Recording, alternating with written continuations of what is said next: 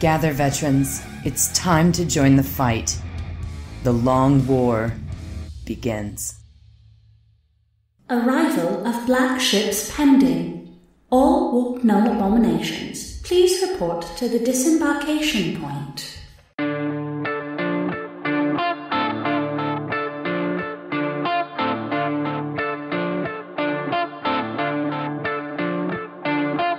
This is The Long War. I'm Robbie B, and joining me are my partners in crime, Kenny Boucher and Mike Haspil. What's up, guys? Yo, dog, good to be here. Hey, what's happening? So Haspil is back from Salt Lake City, FanX. He actually won the event. He took Yep. first in, in all all events. Tell us about it, Haspil. So I swept the entire event because there wasn't a 40k tourney there, so I can declare victory. But no, I had a good time at uh, FanX. Ran into um, James up there. We got to hang out for a bit. Uh, met a couple other fans from the Long War, uh, and it was it was a good, a great time. I learned a lot. I was in the Bard's Tower with um, a bunch of other writers, Larry Correia and uh, Jonathan Maberry. Um, Melinda Snodgrass, and and that was like actually super cool because Melinda wrote Measure of a Man, uh, Star Trek Next Generation. That's the episode where Data is actually put on put on trial to find out if he's actually a person or not. Um, and it it was just fantastic being able to talk to her about all this behind the scenes Star Trek stuff. It was just really really incredible. But I I learned a lot. I feel like you were there for a week because I saw so many updates of you doing so many different things. It was kind of it was kind of jelly. I was there for a while. Um, Salt Lake uh, does things a little bit differently. So instead, so they don't their con doesn't go on Sunday, so it starts on Thursday and then runs through Saturday. So I flew in on Wednesday and I was doing stuff, uh, so many activities. uh, so I was doing stuff from Wednesday to right when I got on the plane.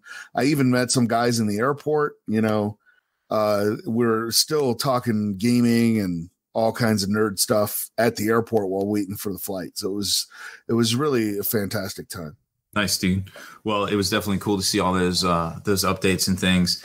Here on the East Coast, we are bracing for a big storm. Juice is actually out tonight. He is uh, doing some uh, catering for one of the emergency prep boards or teams or something. I forget uh, exactly what the quote was there. So he's he's out doing the good work before the storms actually hit us here.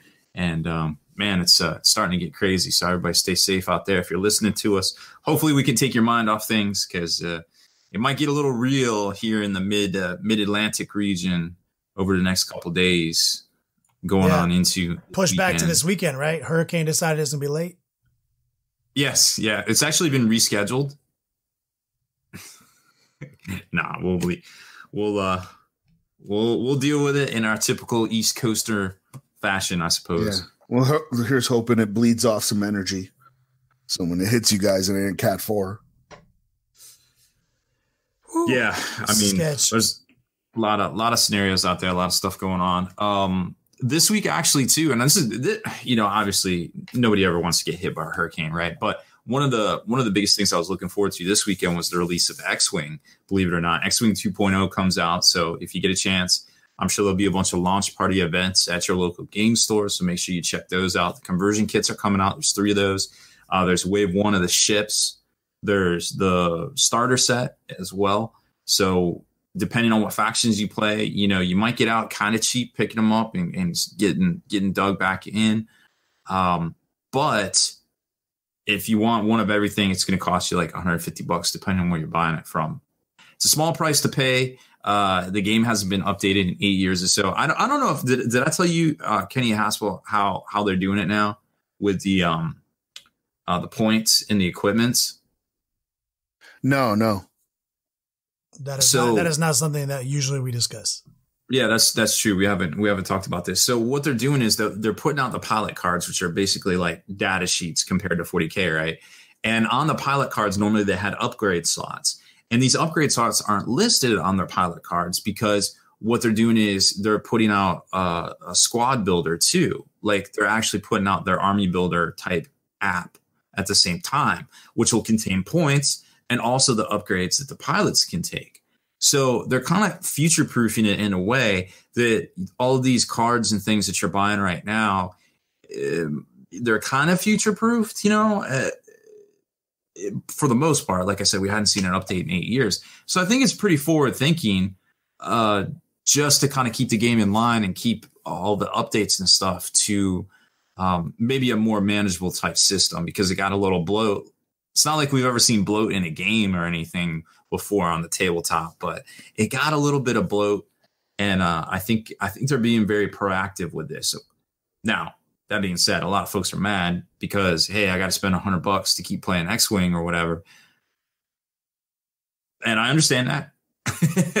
but at the end of the day, you got to vote with your hobby dollars and you know get in what you want to get into, I suppose. But A hundred bucks is basically free. Forty k money. Yeah, I was to say. I mean, a new rule book comes out. It's usually you know at least sixty dollars when a new edition drops, and then you got to get a codex. That's another, you know, fifty bucks. So I feel like X Wing is still a deal. Yep.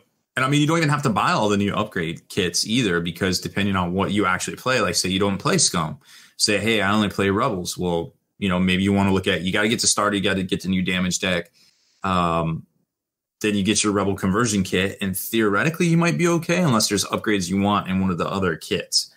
So, but So know, this, is, this is a straight up new edition. Yeah, new edition has new costs. yeah, I agree. you heard it here first. X Wing. X Wing is No. indeed free. Fact. so, yep. That is coming out this week. Also scheduled to come out this month on the FFG side of things is the um, the new weapon teams, the E-Web blaster and that laser radar laser dish thing that you saw at the Battle of Hoth.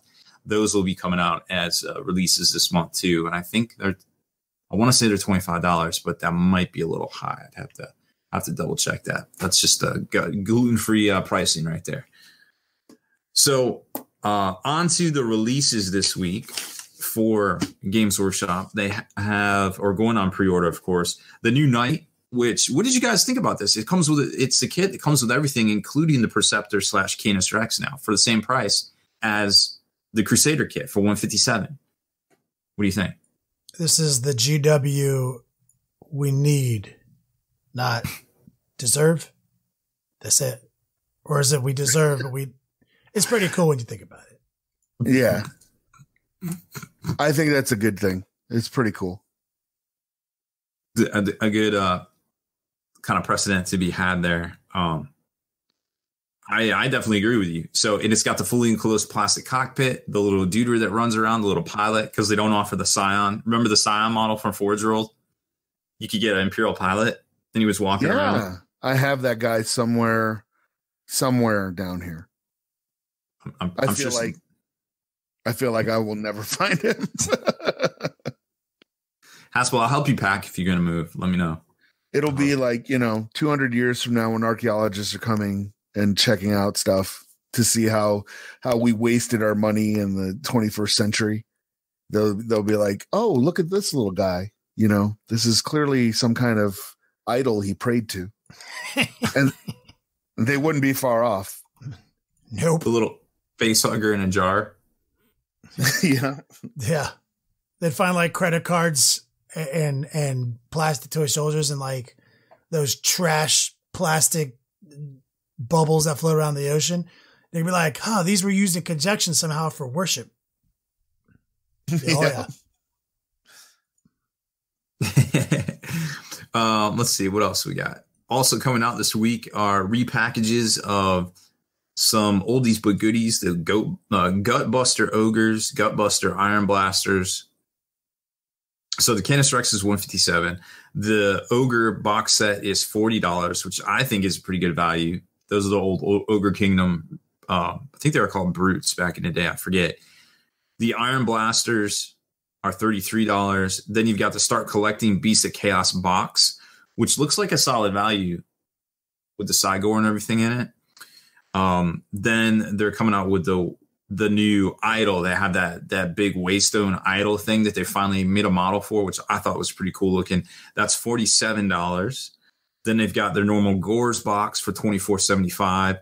repackaging the Warhounds, the old old Warhounds with the crazy like horns coming out and the the hair, the like really solid, thick sculpt hair that's like pulling backwards as they like run. The new Beast of Chaos Battle Tome for 40.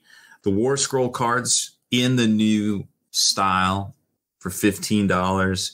Endless Spells, those are the um what is it? The new uh uh, it was like a bull and there's like some vulture looking things. They're pretty cool. Every new faction seems to be getting a endless spell pack for 35 and the dice they got dice coming out too for $20 those are the big ones for going on pre-order next week and after that it's anybody's guess because there isn't much on deck although it does look like that night vault did you see the preview of the night vault today haspil I did not see the preview today, but I've well, I've been keeping abreast of the Night Vault stuff. Definitely, it was uh, somebody had it set up on a table, and took some pictures. I guess they were doing a demo at their store or something. Oh, um, got some pretty good pictures of it. They posted them up on Twitter. Uh, it, looks it looks solid. Yeah, I, I guess like there's going to be like a new stat line of magic or something. Mm-hmm. But and then the other thing that I've heard, which actually kind of makes sense, this is rumor that uh they are not once Night Vault drops, they will no longer be producing Shadespire. So uh, so I almost the said starter? Ultima Underworlds. so a Warhammer Underworlds starter will be Night Vault. Like there won't be a Shadespire anymore. It'll be you know, everything will be Nightfall. But like, they're compatible though. That's what they are said. compatible. They are compatible. You can totally use your Shadespire stuff in Night Vault. Um, but and this is a rumor. I don't know that it's true, but that you should be able to buy the war bands still for Shadespire, but that the starter for Shadespire will no longer be in production. So, um, it sounds like they're going kind of like the uh, Magic the Gathering route, where well, once, just, yeah, once the next season comes out, that's that's the mm-hmm. that's the game now, you know. Um, you actually predicted this on this podcast. You're like, yeah. you know what? It's not called Shadespire. It's actually called Warhammer Underworlds. Yeah. So, um, I, I, I, I'm excited for it. I hope that things have let up for me so that when it drops, I don't know when they haven't announced a date, right, or anything.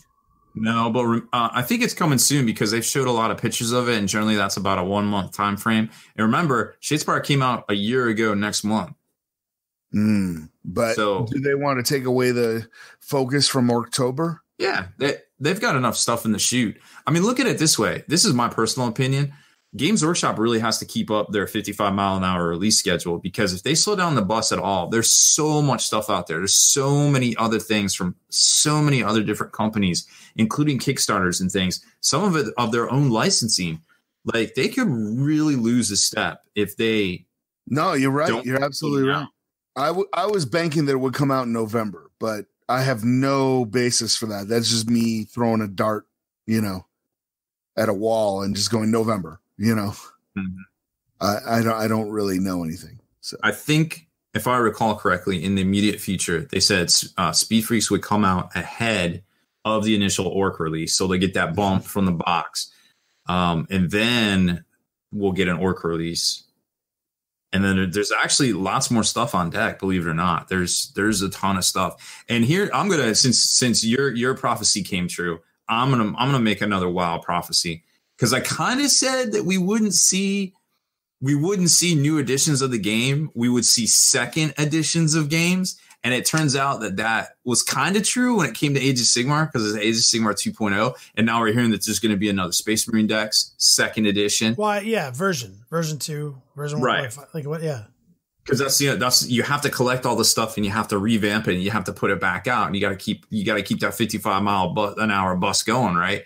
So what I think is kind of seeing the previews from the new Beast of Chaos book is they are they are taking and tying factions together like like almost like the beast of chaos book is a soup list for age of sigmar but they're doing it in a way that the things only work with the other things and they're being very specific about it. So in theory, oh my god, I'm so stoked behind that. Cause then, cause look, I get, I do get a little. It's it's clear in my tone of my voice. I get a little irritated with all this soup talk, right?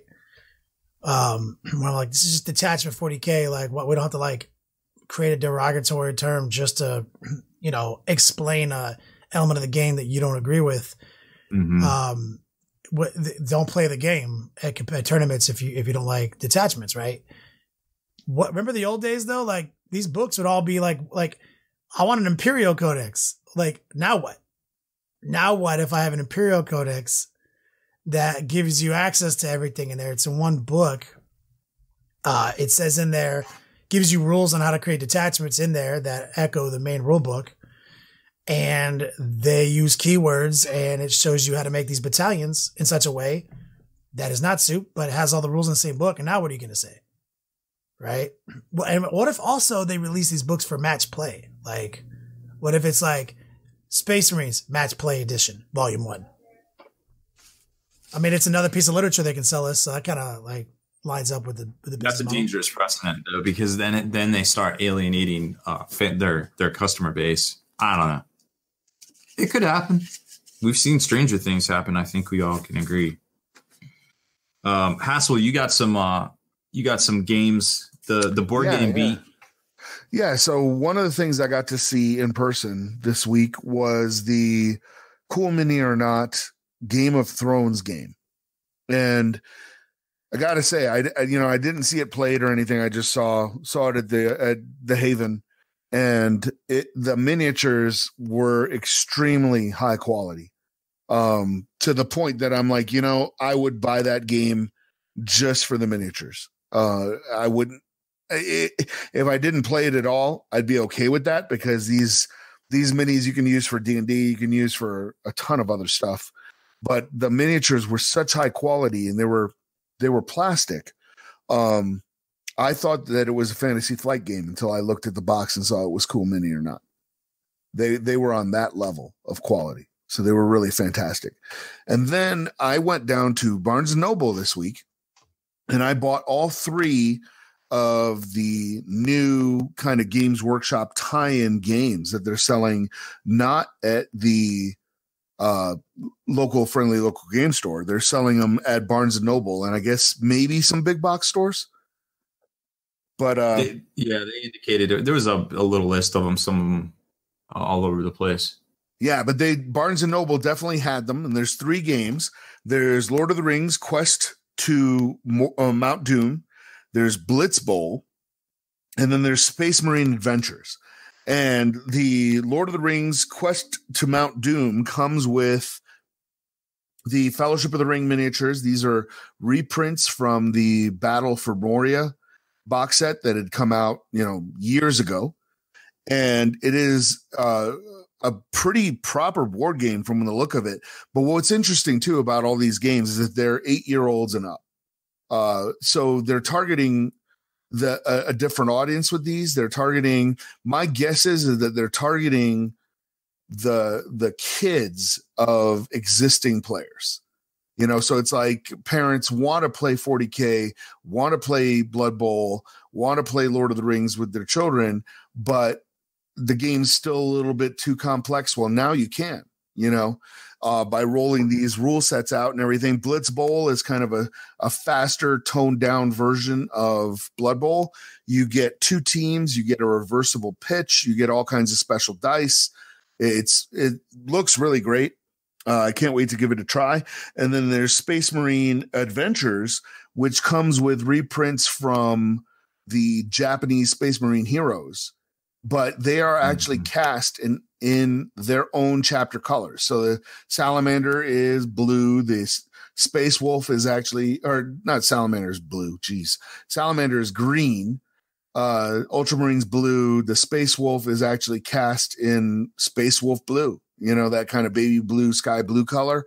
Um, they have because they couldn't. You know, we don't have snap fit Necron warriors or Necrons at all.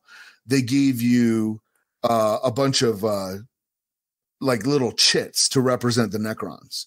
and they come in like you know there's warriors there's immortals there's there's uh some lords there's even an overlord i think. And uh what ex- what's exciting about that is is it's co-op. It's one to four players uh cooperative play. So that means that when you're trying to introduce somebody new to the game especially you know a kid or something it doesn't have to be an adversarial experience. It you know you're you choose your space marine hero and then you're playing against the board. And i love games like that. And one of my favorite games ever is fantasy flight's elder sign because i can play it alone. Um i also adored assassinorum i still play assassinorum because it's it's hard and you can play it alone you know and and uh so i'm looking forward to playing uh space marine adventures but all three of these the uh the Lord of the Rings one is the most expensive. It's about 50 bucks. The other ones are about 40 bucks. Uh, every single one of them I felt was a, a good product. You know, the, as far as quality goes and everything, I can't speak to the rules until I, I play them, but uh, they look to be quality products, serious, not really overcosted. So it's it's proud, proud to add them to your plastic pyramid of shame. Yes. And uh, one additional thing I would say is you can order them online from Barnes and Noble online. But if you do have a Barnes and Noble brick and mortar store near you, I would advocate going down to the actual brick and mortar store and purchasing them there. Uh, just, you know, that reinforces the whole, hey, we appreciate you guys doing this kind of thing. And um, you know we're we're going to support it by coming into your store and spending some bucks. Now it does carry a little bit of a stigma because it is not available at fr- friendly local game stores. And i'm i'm not entirely sure why they did that because any one of these games would have sold at a friendly local game store uh, i feel you know not a problem. Plus it introduces the player base to hey here's where you can get more stuff you know and, and kind of reinforces those um you know where do you get more stuff? Well you can't if you want to if you like the space marine game or you like the lord of the rings miniatures and you want to buy more lord of the rings miniatures you're not buying them at barnes and noble or a big box store. So Pro- probably it's probably a licensing deal. It probably is probably yeah. nothing to do with gw probably was just like the terms of their contract. It, yeah barnes and honestly barnes like, and noble can yeah. help so yeah, they need help. So they're like, nope, we're not going to carry this shit. If like they could just go to the hobby store, we want we want to expand the market, and also simultaneously, like there might be a market, an untapped market that frequents Barnes and Nobles over game stores, so it might work for both communities. You know, might be a crossover opportunity. Yeah, yeah, and and honestly, these games are meant for a more casual board gamer crowd. I mean, these are not these are not hardcore. You know, this isn't Twilight Imperium. This is these are not hardcore board games. They're they look, you know, pretty fast, pretty fun. Um, they're not meant to to break your head playing these. That adds up. Is uh does that cover uh the first half of the show, Rob? Uh yeah, I think so for the most part. So we definitely have some new rules, not clickbait, to break not down clickbait. here in a few minutes. Um uh lots of new models, lots of exciting things, but let's take a quick commercial break. Let's hear from our hobby sponsors, and then uh, let's jump into it. Jello, Jello shots. Finally, the Long War swag is here. LongWarSwag.com, the official home of Long War merchandise. We've got a range of merchandise exclusive to the Long War brand, next level painting, and spiky bits. Definitely log in today while supplies lasts.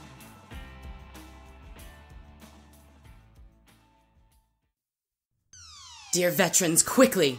Make your way to the longwar.net and find out how to reap your hard earned spoils of this long war.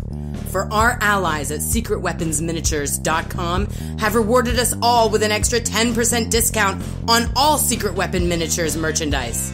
So stock up, dear veterans, and enjoy.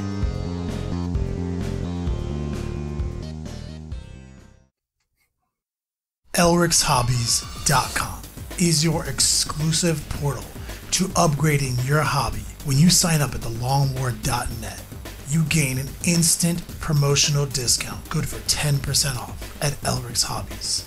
Elric'sHobbies.com. Veterans, I've got news for you.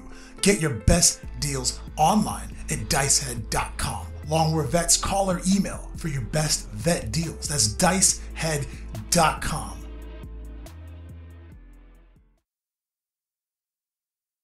Rob, what happened? we got we got new 40Ks. It's been a scratchy month, but we got some new we got some new stuff. Some solid concrete new stuff. We actually got new rules in the tooth and claw box for Genestealer Cults, but we'll probably talk about those uh, a different time. They updated some of the some of the stuff, pretty interesting. So we've got uh, one, two, three, four, five, six, seven new units. Hey, how about that? Seven new Nurgle units. Hmm. In uh, the Rogue Trader box, they all have points. They all have. There's actually eight new stratagems for them specifically as well. Rob, can, this- can, you tell me what the name of these guys are? I want you to do it like you did it earlier. So then I have mm-hmm. to ask Haspil how to explain it to me in a way I would understand. Oh, about like the backstory? yeah, because it was priceless. So the uh, the Jello field, the thing that protects the ships as they travel through the warp, so that the the demons don't come in, has been infected somehow. I guess by a demon. By a demon, which I'm not even sure what that's about.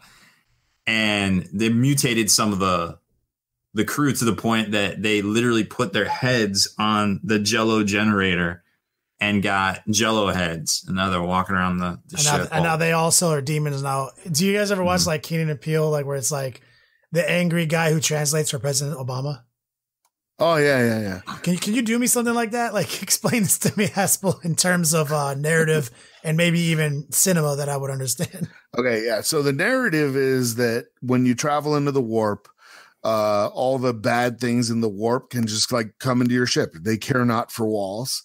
They can do whatever they want. So the Geller field is an energy field that surrounds the ship and keeps the warp out. And the perfect, the most perfect example I can think of of what a Geller field failure or going into the warp without a Geller field is the movie Event Horizon, which it frightens me to say is probably like 20 years old now. I don't even want to look. But but uh, Do not the, watch it, it. It does not hold up. It doesn't hold up. No. Oh, I, am a little sad to hear about that, but I haven't seen it in a long time. But uh, it has a very young Laurence Fishburne in it. Yeah, and like Sam Neill and and a couple other pretty good stars. But uh, but there's a there's a good solid theory out there that Event Horizon is actually a Warhammer 40k film. And w- what it's about is about a ship called the Event Horizon that is trying out a new type of drive that is going to go faster than light. And they go ahead and engage the drive, and they're not heard from again. I don't remember how many years go by, like 20 or 30 years go by, and then Event Horizon shows back up. Um, just pops back into real space. And so they send some investigators on the ship to find out what is going on. And the ship, it's it's your standard haunted house movie, but it's on a spaceship. So it has sci-fi elements. Um, but the they're on the ship and, and essentially that's what happened is the ship went into the warp and came back possessed. That's the easiest way to put it because they did not have a Geller field or as Rob says, a Jello field. which is much more fun to say. Wiggle, wiggle, wiggle. Yeah, so we'll go with Jello for the rest of the show. So it seems to me like Event Horizon is like what happens after this game. This is the Rogue Trader stuff. Yeah. So like, so right, right event, now they're fighting it out. Yeah, Event Horizon, we're like investigating the ship like after all this went down, and you're just looking at the videotapes and like the ghosts of all these people and shit, and it's like this is kind of fucked up. And it seems like you're playing through the events the scariest part of the Horizon was when like they activated the console and you can see a quick little video of the bridge crew. Do you remember that? Haspil? Yeah. It's like yeah, a eight second clip of like the bridge crew like ripping their own innards out through their mouths. Yeah. Like, and he's like screaming in Latin, Liberate te ex infernis or some some crap like that. yeah. So now that I understand the premise and the narrative of this game, and it's flawless, there's no plot holes. Uh, obviously, mm, none. the device that you use to keep demons out was possessed by demons. I feel like, like we, we, where we talk? Like, Is you sure it wasn't like a cult uprising and someone sabotaged the, the machine spirit to worship chaos? I don't know. Whatever, man. I don't write narratives. Got it. I'm sold. What, what what's going on here? So we got new rules. There's bad guys and good guys. They're fighting it out. Uh, the bad guys all have Nurgle keyword and stuff, so uh, they have variety of special rules that you might be familiar with. You know, like uh, disgusting resilience. They all have a new uh, retinue feature where if you take the the leader guy, you can set all of them up as one choice, kind of like they're in a rhino, but they're not in a rhino, as one choice towards you know your. I get to go roll the dice to see who goes first thing. It's called deployment. Yeah, deployment. When you mustered your army. then uh, so there's seven new units. We can just run through the uh, the stratagems first, so you get an idea of. Run me through the units first, because we didn't. Oh, I, you want the units? I want the units, so because a lot of these stratagems are going to be key to units. Gotcha. So let's start. So we got the uh, the leader guy, Vulgrar the Thrice Cursed. He's uh, five inch movement, weapon skill three, ballistic skill six, toughness five, strength five, five wounds, four attacks, uh, six up save with disgusting re- resilient. Reroll hit rolls of one for friendly Gellerpox infected units within six. Go figure. He also has a five up invul and neg one leadership to anybody that's around him that are the enemy. A lot of these things are really low points cost too, and we'll talk about that here in a second. He's got a belly flamer. Assault D6, strength four, automatically hits, obviously, and Flesh Ripper claws, uh, strength six, neg two, two damage. So kind of okay, I guess. You said with five attacks? Yeah.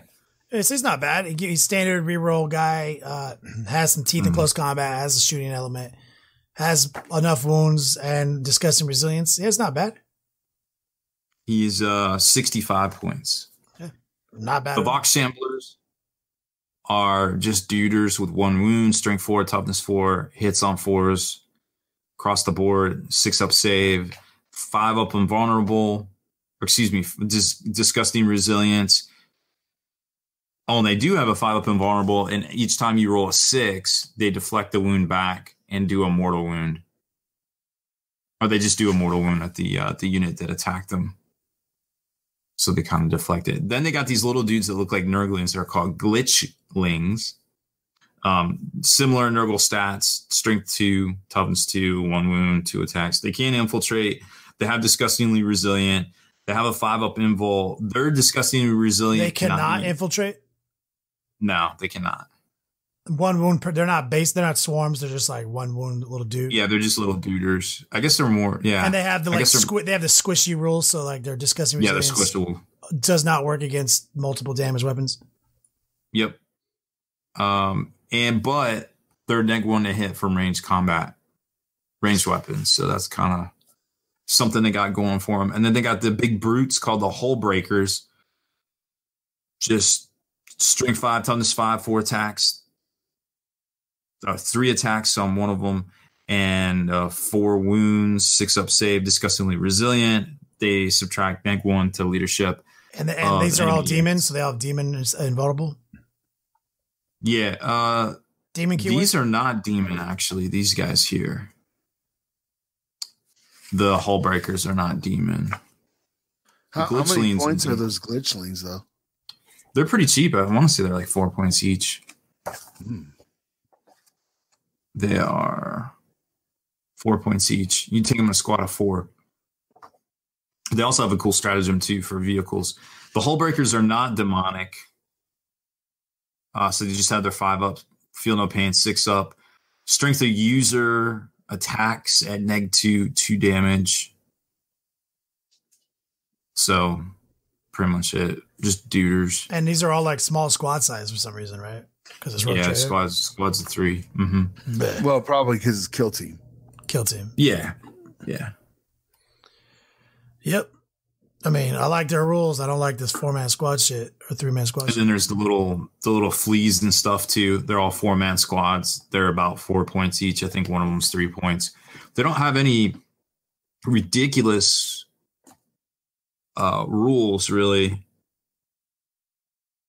They just don't take up a spot in a detachment if they have Vulgrar the Thrice Cursed. Um, one of them you add back a uh, model to the unit every turn, and they're neg one to hit. The little eye Yeah. stinger swarms. Rules seem very suited to kill team uh, so far. Mm-hmm. But these, I mean, but that means therefore it is a 40k rule set, a legal 40k rule set. Yeah, I mean, you can take these. You can take them in a detachment. You've got troops. You've got fast attacks. Um, now, if you do take them and you make uh, Vulgrar the thrice cursed your HQ, he gets the warlord trait where you get three additional command points, but you can only use that to, on Gellerpox infected stratagems. So his warlord trait gives you three bonus CPs that can only be Mhm. used on their stratagems. Only, yep. Okay, so that's cool. I mean, it gives you a free, it gives you free stratagems.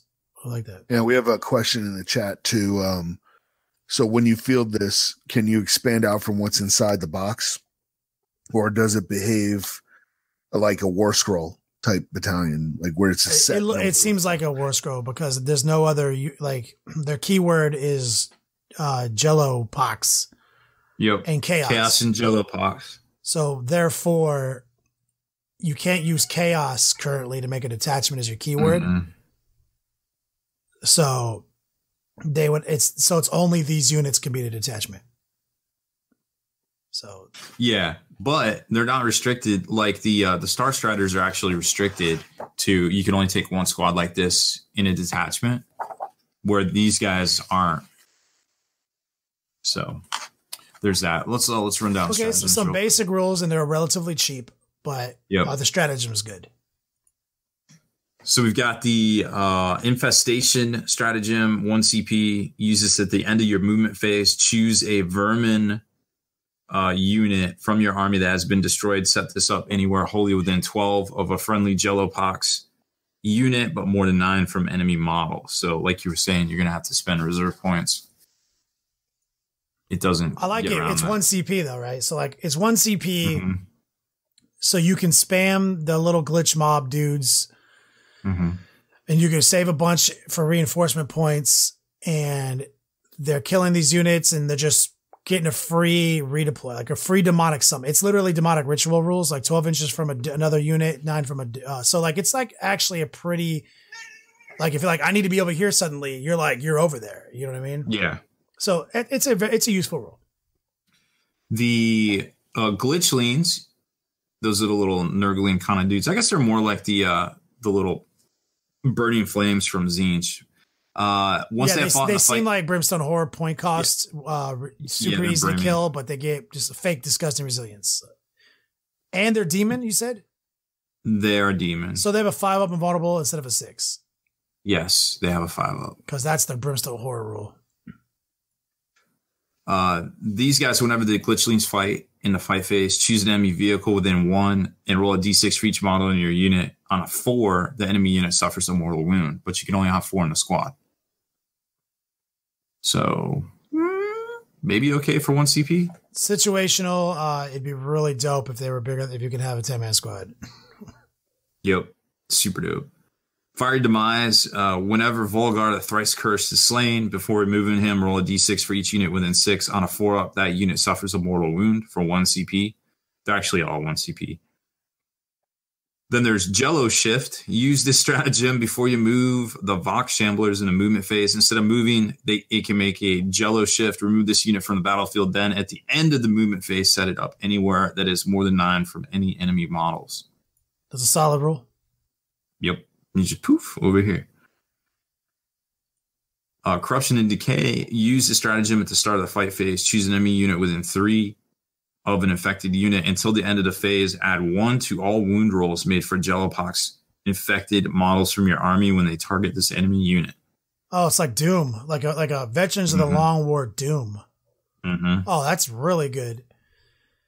Um, okay, it's really good. These, I mean, that's really good in conjunction with a couple of these units, like some of the weaker units. Eh, but like anytime you have like a you put the curse on a unit and it makes other units have a better room roll. It's funny because me and Sean and Aiden were just talking about the difference between um like veterans of the Long War and Doom, right? Like you like how they're both of similar power. Like so, re-rolling wounds is really good, but plus one to wound is really good too, especially if there's other things that trigger.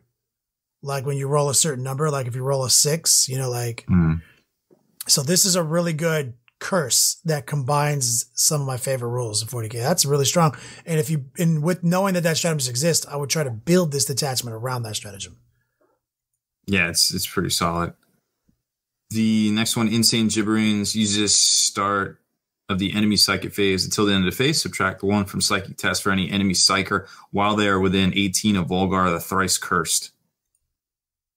So that's a really strong one. That's a, it's 18 inches, still kind of limited, but that dude can, can, I think that dude has the right keywords to jello shift. So Uh, he cannot jello shift. what unit can jello shift? The Vox Shamblers. Oh, Vox Shamblers. 18 inches, one CP, minus one to cast. That's, I mean, that's fucking, you're going to catch me using that. Yeah. Espe- especially when you consider Kill Team is smaller. You know what I mean? Mhm. Playing on a smaller field, 18 inches, that's serious. Uh, Rancid Vomit uses stratagem during your shooting phase. Choose a Hull Breakers model from your army, then choose an enemy unit within six that is visible. Roll three d6s for each roll of five. That enemy suffers a mortal wound. So they have several ways to do mortal wounds in one turn. But they're different units. Yeah, they're different stratagems. So like, Yep. it's interesting. Like a lot of stratagem, a lot of stratagem based mortal wounds. And the last stratagem is at the end of your movement phase, choose a Hull Breakers model from your army. That model regains one lost wound. One lost one. So there's not, so the, the, the hole breakers being like the tougher unit, they don't get the jello shift. Mm-mm. They do benefit from the re- the plus one to wound curse. Yep. They have a I see you do a potentially some mortal wounds to you. Yes. So these same this, Within like I don't know a lot about kill team, but I feel like that's pretty good for this is all pretty good for kill team. No, no, this is 40K. Oh, this is this is the this is These 40k, 40K and, and 40k rules and rogue trader game rules. No, this is this is 40k. This is just for 40k. These There's are no just other, the 40k. There's no other use for these rules. Nope. Ugh. Yeah, that kind of, I don't know. That changes my opinion. I thought these were the Kill Team rules, but these are 40K. Interesting. this really small squad size. So like basically, man, like okay, th- there's play here. Like there's play here. So a small detachment. We can make a really cheap battalion first off, right? Yeah, without So you can make an incredibly cheap. So there's two HQ options, right? um no, just one. Can't make a battalion. So this is not a battalion. Can't be done. So you can make a patrol detachment or you can make a lot of things. Okay. So you can make anything, so you're not going to get like the sweet five free CPs. That sucks balls. Okay. I already harder for me to sell this. Um, I like that you can get a bunch of really cheap scoring units. You can get unit, you can do a bunch of demonic ritual shenanigans. Um, I like that you can jello shift. And what's the unit that you can jello shift? What's its what's its old bag? Uh Vox Shamblers, What do they do? What give me their stats again? they're just duders. They had they had on fours, strength four, toughness four, one wound, two attacks. Um Four guys, three guys. three guys. They they have a five up invul, and if you make it on a six, they do one mortal wound and a fight five- phase so back. Five up, five up, one wound. They can teleport somewhere for one CP. Yep. Um, and the units that can come back to life are the glitchlings. Not these guys. Uh, no, I think that is the. Is it the glitchlings? No, I think it was the vermins. The uh, the eye stinger swarms, curse mites, or sludge grubs. sludge grubs. And what are these things? They're like the fleas or the flies or the little larvae. Um, they're not that. They're like three or four points each. They're pretty much brimstone horror stats without a invulnerable, and they have a six up. And, okay, so so I'm thinking ITC, right? Like that's what I play out here. So I'm like, okay, so there's some play here. You can move a unit over, grab an objective, do something kind of cool, get a get some recon points. Uh, units are dying, they're coming back to life, but it's like it's gonna be really hard to have it attached with these guys and not lose the who killed more primary objective every turn. Because in ITC, it's you got to kill something, hold something every turn, player turn. Game cycle, Mhm. who killed more, who held more. These guys, this this detachment makes it very difficult for you to be the guy who killed more every turn. Like you're going to be perpetually sacrificing hold more for kill more. Therefore, it's a wash. Like, Yeah. eh. this is really. I mean, I like the stratagems, but like the rules for these units. I mean, maybe there's some sort of combo with the keyword Nurgle. Do they have keyword Nurgle? They have keyword Nurgle. Like pretty much everything. So if So you, by going going from the FAQ, you can't have the only, you can't have it be chaos. Be your Right. keyword. Your keyword. You would have to take them in the Jarpox inf- infect infected infected uh, detachment. But if you had Nurgle in your other detachment and they gave Nurgle gave Nurgle some sort of buffs, Those um, things usually. Plague Bear. So there, I mean, there are definitely things that going to affect them. There's definitely Nurgle is a key word. There's going to be some play there for sure, like, um, for sure. But it's like, damn, these units are just so small and weak, and Yeah. you can like you can't even like. I'm like, oh well, I can get like the world's cheapest battalion. That's awesome. No, No, you can't even get a battalion. if You you have one HQ in this one. If you take them in any detachment, like they have, so they have the Nurgle keyword. Mm-hmm. if you take them, you I mean, you can't take them in a detachment. That's the thing is like, um, like Death Guard. Like I saw that in chat. So like Death Guard have Death Guard keyword and Hereticus Astartes keyword, um, and Nurgle keyword. Not as faction. They don't have Nurgle as faction. But they're, but their their Legion is Death Guard. So you pro I think you technically can bypass it and use Nurgle. Right? But you would lose every Legion benefit.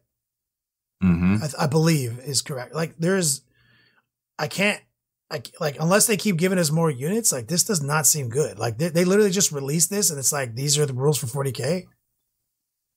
Well, you know, one of the folks in the chat saying one night stands was saying that it's like um or Longship Loft said that it's like they gave Shadespire AOS all the Shadespire warbands have AOS rules. You know, so that you can use them in AOS, but it's not really Not that good. yeah. It's like you can field them if you want to because you you spent time assembling and painting those minis. It could be a, uh, that in a lot of cases this this is just a triple dip for y'all to buy it. You know, like um, we saw with Necromunda, it was priced similarly, and it came with the the point of Necromunda was yeah, you got two war bands right off the bat, and that was neat. But really, it was you got the board, you got the the little bulkheads and stuff that came in it, and you got the rules for Necromunda. So now you're getting rules for these war bands in Kill Team. You're getting Kill Team cards. You're getting these new war bands themselves, which are exclusive to this box. Yeah, it just seems like it's just a bonus. They're like, hey, added ba- added value. It's also legal for 40k. Yeah, Yeah, it's that, that's what I feel. I think Yeah. these are meant to be kill team, but you can also play them in 40k. Yeah, they're version. every all their rules are just wrong. Like squad sizes are all wrong. Um, I heard it in chat. Harvey Ballstein was like, "Could you could you just distract people with these?" Yeah, but like most major events are playing like something Yeah. like ITC, right? it's going to be hurting you. And ITC being, is a very balanced format that rewards you for killing and holding objectives. These guys are going to be pretty good at holding objectives for a little while, but like there's no board control with only four man in a squad. So like you kill four guys, you're not holding the objective anymore, right? Mm-hmm. Um, you get killed really easy, so you're giving up fucking all sorts of points every turn. It's just, and they're not giving you any kind of like command point benefits. They have some pretty cool stratagems, but like there's just no ass behind any of the units. I think the models are the models are pretty cool. Rob, Yeah, models yeah, are yeah, the models looking. are good.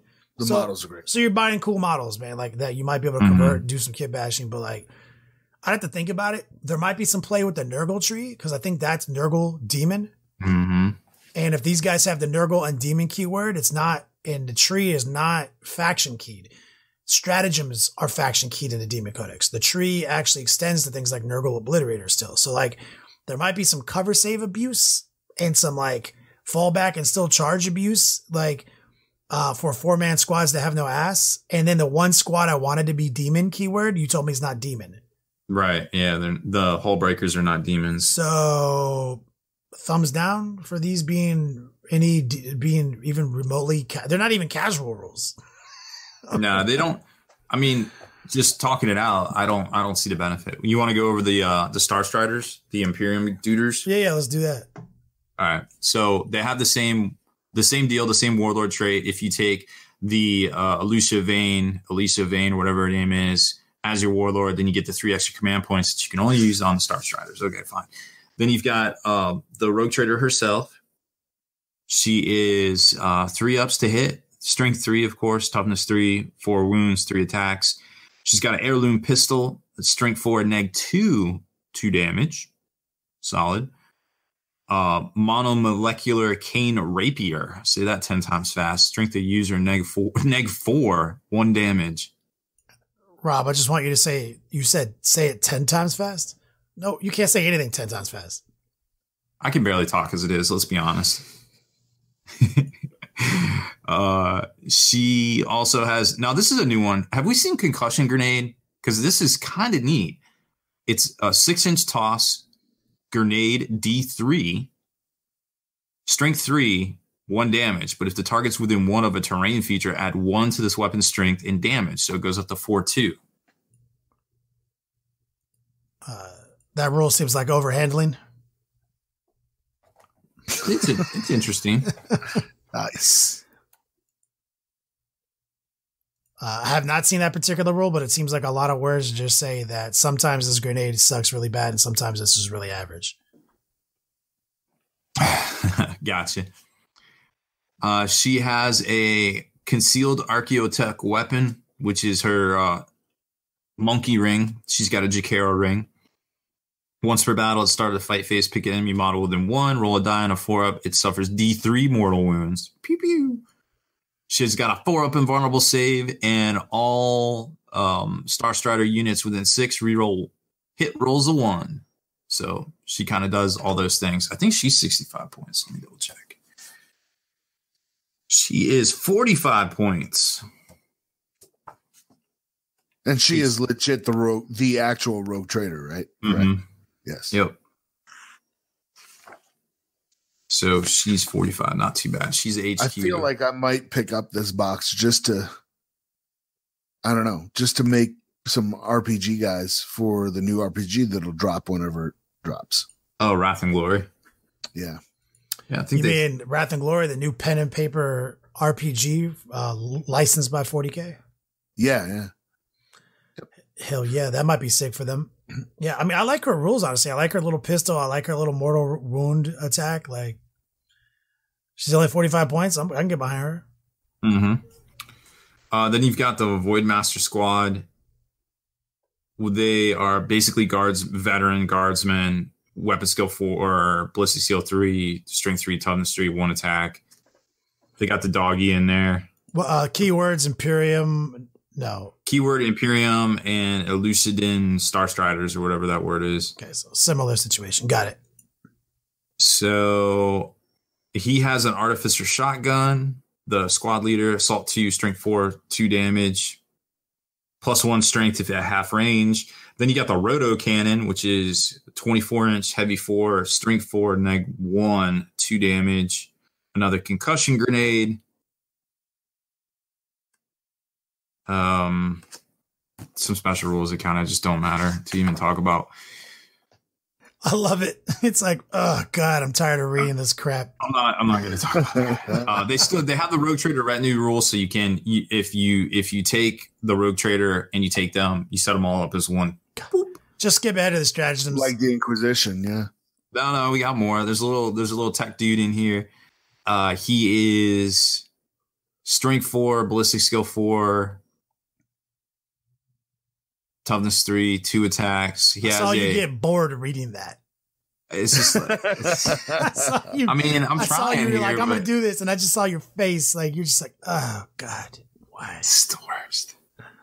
Um, he's got a pistol at strength five, unmodified hit of roll of six for this attack. Scores Mortal three wound, I hits. guess. Oh, three hits. Oh, so he's got a. Tesla pistol. Yeah, he's got a Tesla pistol. Kind of cool. I'm back into it. Okay, let's go. How many? That, that's literally it. He's toughness three, two attacks, two two wounds.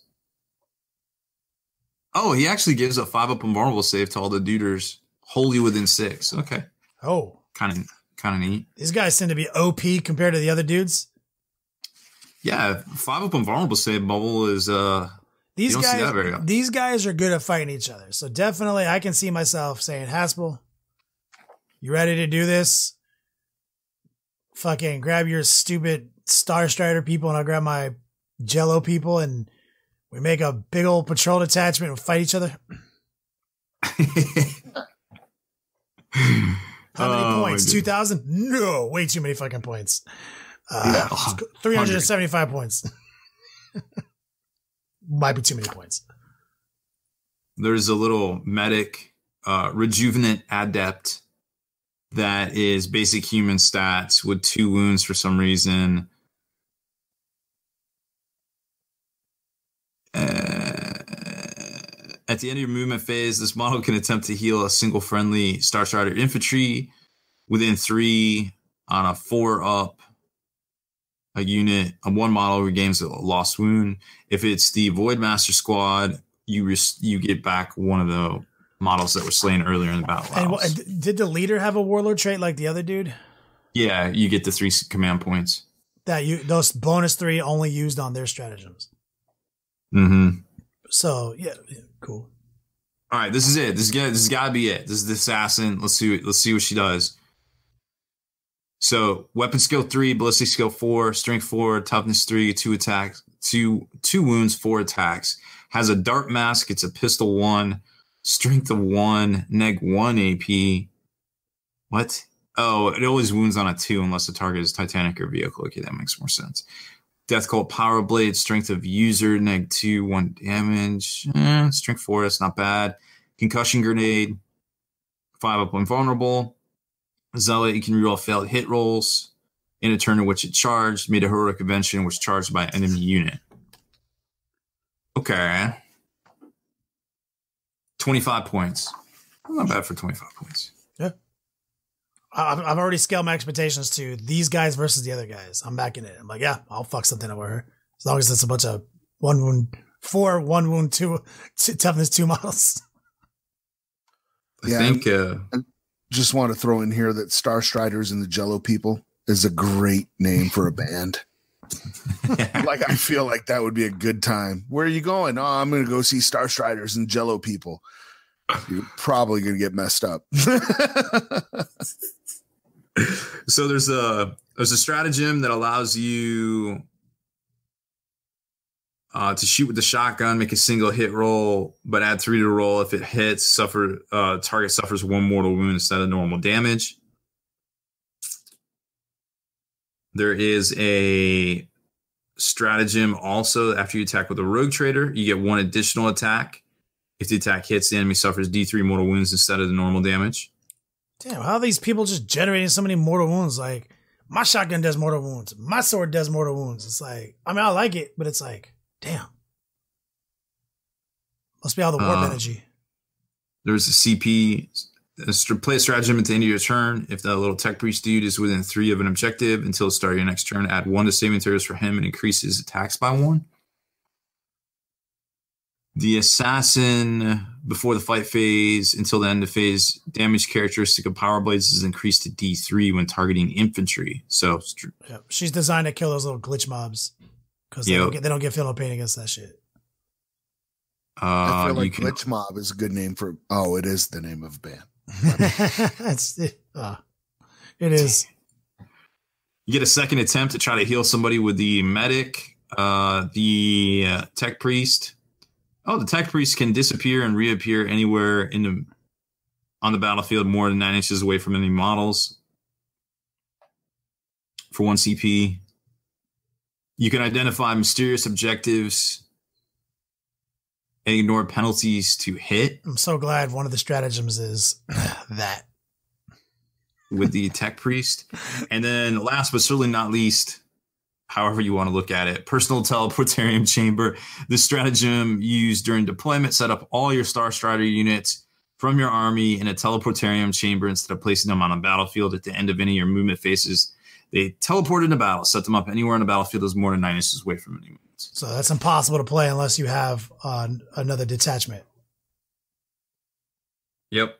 Because Yeah. you lose the game. No boots on the ground. So you can only play that because they're Imperium and Star Strider. So you can only play that if you're playing open 40k. I yes. I'm not. I'm super confused. no, you can you can take them Star Strider faction. So you have to take, but it didn't that You have to thing, take a Star Strider detachment. but didn't that thing say you play this and all your dudes? What did it say? All your Star Strider dudes. So, uh, so who doesn't have Star Strider keyword in that whole? They all have Star Strider. So like, it doesn't say like any amount up to max. It says all of them, right? He did say all of them. So you can take a patrol of these guys, but in a battle forged army, you have Yep, to. You can't all. use the Imperium keyword Mm-hmm. to create your battle forged army. So like, you can't take. Well, I guess in a detachment, not an army. So no, I guess you can. So you can take two units. So you can take a Space Marine, take a Sisters. You can take this. Okay, so that's actually kind of interesting. Yeah, and then that Tech Yeah. Marine becomes kind of useful. That So- you can bounce them around. That stratagem makes me interested. because, you can only bounce around the the tech priest dude. He's the only guy that can teleport. I mean, Yeah. they can all teleport, and then he can. well, yeah, out. no, yeah, no. Like actually, that one Yeah, stratagem makes these guys kind of interesting. All Yeah. these little cheap dudes in a patrol detachment, one Mhm. CP, every single one of them deep strikes. hmm Right now, as long as your power level and your max units doesn't exceed your your board people, I imagine the power levels are all really low in these guys. I, I would hope so. Um, that's actually interesting. I'm with these guys. I, I feel like it's. I feel like this play there. Like Three, four. all my level. garbage people will show up later when they need to. Got it. One CP. like, Navis Hassan good at killing infantry. Well, and that the Tech Priest or whatever the the uh, the Tech Priest he can repair. It's not just Star Strider stuff, I would assume, right? It's not. It's not a tech priest in the the literal sense. Sorry, Oh, it's like some oh. hybrid Okay, mechanicus dude. It's does like an have Tech explorer in the in the RPG. What's that? It's like an explorer in the RPG. He, uh, it, there's something called a Lectro-Maester. Oh, I don't know what that is. Um, yep. I well, um, I mean, you could probably He's the even take a, you could probably take a little Vanguard attachment or some shit. These guys are Mhm. elites and stuff, right? Yeah, you got a HQ, you got a lead, you got some troops. Yeah, I'm with it. I'm with getting all these. How many points for these groups to be in a guys patrol? So I get a patrol detachment. You got to take the leader. Um, you have to take which ones are the troops? The guy who with the guys with the rotor cannon and the shotguns. Yeah, the void master. But you, but see, this is the weird part because hold up, you can only take one of this unit in your army. What? Yeah, of the the one troop choice in here, you can only take one in your army. It says that. It says that. Ugh. So like you can't even make a patrol. Everything. How many of the elite people are in there? Oh, there's a bunch. I guess we're making an outrider detachment. Yeah, I guess so. Can't take patrol. So are those things zero to one? No. Nope. Yeah, they are. Well, one of each. Yeah, one of each. It says you can only take one. Yep. Yep. I see the disappointment on your face. I face. feel like we did a whole lot of talking for you. You actually can't play these in 40k. Got it. Yeah, and some folks in the chat are saying it feels like these guys were designed when Imperial Soup. No, you can take a you can take a patrol, right? Because the patrol is only one troop, right? Like Wolfstar said. So you can take a so Yeah. All you can do is take a patrol detachment. Like so, you can take so Well, how many basically. is in an, So what? the elite, the vanguard? How many you need? You need three? for everything else. Well, you'd have to. You could take one of each. You could take one. Well, you, you- just can't duplicate. You, well, you can take yeah. I mean, you can take practically. You can take any of these little shitty. You can take a little detachment, shitty little detachment. Um, Mhm. For some reason, I thought a patrol was, was two age. It was two troops. I did too. That's a uh, brigade. No, that is Nothing. a battalion. Battalion is three. So um, That is you can shove all of these into a little detachment and take it all deep strike. I think that's good. I think that works. I think that is playable. for less than 100 points. Yeah. Yeah. I don't know. It's not it's not overwhelming. And it's a nice little bonus to box set. The miniatures look dope. You get good content. If you're in the Rogue Trader, you and a buddy can now jump back into it. It's kind of like the starter for 130. Uh, you just won't get a lot of terrain, and you're going to get that that new play style where they're playing on the ship, so it's a little bit close, more clo- close quartery kind of style. Yeah. Um like I mean, I don't even think it's terrible. I think that for one CP, being able to just have like a bunch of Elysian drop troops that are a bunch of little they, they might be scrubs and they can't do much, but so much of the game is grabbing objectives and Mm-hmm. behind enemy lines and recon. Like I can see this being a really like I tell people all the time is like if you have something like in the backfield that you don't that doesn't actually kill any things, that's like a behind enemy lines or that's a rec- like you tell me you can get like hundred points of just like fucking or maybe like 150 points of just like five things that you can show up during the game and places you need to. That's actually strong. I, th- I think this is playable for in terms of objective grabbing. Yeah, and just popping up and being a nuisance. Yeah, that, yeah, exactly. Wolfsark. That I wouldn't do a patrol detachment. I would do what Wolfsark said. I would take one of each, assassin, tech, priest, medic. I'd make Yeah. it. I would definitely make it uh the vanguard detachment, and I would definitely get the one free CP and just say fuck it. Let's just drop. I think you can bring them in wherever. They don't have to be. the deep. I mean, if they did normal deep strike rules, it's anywhere nine inches away from an enemy and turn two. you- Yeah. you, know, and outside Because you got, you know, one dude's an elite choice, one dude's an elite choice, four dudes are a troop. You can just, just hey, oh, here, here, over here, here. all right? troop KR Quinn. All troops are objective secure right now, based on uh, the chapter approved last year. And I'm That sure these true. guys, if these guys are like any other book, they probably have something saying that in there They too. don't. Well, then chapter approved takes precedent. Yeah, what role is the uh, assassin, the the medic? Are too? they? They're are they elites. elites? They're all elites, right? Mhm. It's cool. I think actually I'd be I'd be I'd be interested in sitting down with that little book and figuring out how to inject it into my not try hard list because you're going to be sacrificing one of your three detachments. So you know what else is really good? It's three slam captains and the supreme command attachment that also deep strike for no CPs. Mhm. You can't you can't split them up when they deep strike though because if if you have the rogue trader in there, which you would have to because you need the HQ choice, you cannot set up any units with this ability before the rogue trader. When you set up Lucia Vhane during deployment, all units with this ability are set up at the same time. When you set her up on for the first time, all units with this ability must be set up within six inches of her. oh my god! All right, never mind. We did so much talking. Sorry, guys. because guys. they all have the rogue trader re- re- reten- retinue. I was trying to get trying to get super excited about this, and it's just so many every cool little thing we figure out, it's like there's a rule in there. They're like, no, you can't do that. You can't optimize it the way you want to optimize it. You can't take a battalion. You can't. Oh my god. Yeah, it's savage. These are not tight. Wolfsark, do you see something that I don't see? He's usually always looking at these rules for me. He's in the chat. I'm just Very underwhelmed by these. I am super underwhelmed.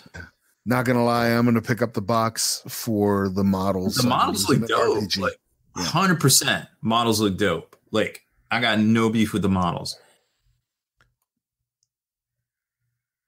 I'm I mean, thinking- people are people are chiming in saying, "Hey, you know, this seems like it was designed before the rules changed." Well, it was. GW has an 18 month cycle from start to finish on a project. That's why they've already started showing us Sisters since March. So we're not going to see Sisters of Battle until like towards the hot towards this time next year actually hit shelves. That hurts Like, me. so 18 months ago, they were working on this before 40k even came out. Eighth edition, they were already working on Kill Team. When Armageddon hit, Shadows Shadow War Armageddon, they were already working on Kill Team for the new edition. Think about that for a minute. Yeah, that makes sense. No, when Wolfsark, that's the immediately what I gravitated toward. I was like, this there's some sneaky mortal wound, and every and you can get models wholly within her Mhm. five plus plus. Like I was like, oh, that's cool. Like that's interesting. That's part. I mean, that's that's a useful forty five point character. Like she's useful. Some of these elements are useful, but I just can't figure out a way that would I would ever play these at a tournament. Like speaking only of tournaments, why would I play these? I don't know. Like, yeah, no, and I agree. Like, I'm, I have no problem with them not being ridiculously good. Like, they're fun. The models are sick. I might find uh, counts as opportunities, assuming GW doesn't not let me play in tournaments if I use their own models that counts as other models. Um, they they look good. They're fun. Well, I guess it's a. I just don't feel like I got my hobby fix off of that though. You know, is it weird? Mm-mm. No, I didn't either. I'm kind of disappointed. Yeah, I don't know what it is. Everything else about this kit is great except the 40k rules part. I mean, I don't know about the kill team rules. I didn't really look at it, but it comes with a ton. It comes with a ton of content, you know. So Yeah, well, sorry, it's like use them a kill team, be happy. Yeah, that's like that's where we're at. check, Check. check. But I'm not happy playing kill team, so I don't like. I like playing with hundreds of models, so I'll never be happy. Will start. There's so many hobbies inside of this hobby. It's too much. It's too much. But not to be negative about it. Models uh, allegedly are fantastic. Mm-hmm. Um, the narrative is ironclad. right, no plot holes. Not a one. super strong. Anything else to talk about tonight? I got nothing, man. Uh we may on the Spikey Bit side of things, we may be offline on Twitch next week because of power outages and hurricanes and such. But uh hopefully we'll get back on and uh, join you guys next week for the podcast for sure. Yep. And you guys can check out my new podcast about storytelling called Quantum Froth Dispatches. And you can actually go to quantumfrothdispatches.com and it'll take you to the Libsyn page. And you can listen to the first couple episodes. We have an author interview and then tell you essentially, we start to break down the 1982 version of Conan the Barbarian. And it's the that's our season one is is all about 1982 movies because like every good movie came out in 1982 and they're all being remade now. Well, gee, I wonder why. Hmm. Gotta get that cheddar. yeah. All right, Haspil, take us out of here. To hell with them fellas. Buzzards got to eat, same as the worms.